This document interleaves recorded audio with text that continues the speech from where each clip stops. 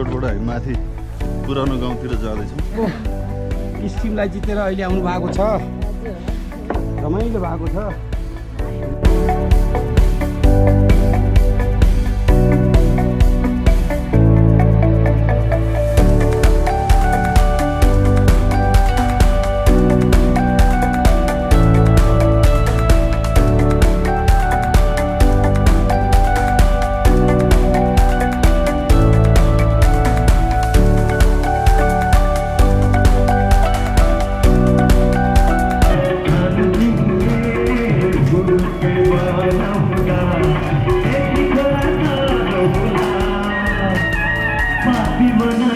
तरी पूर्ण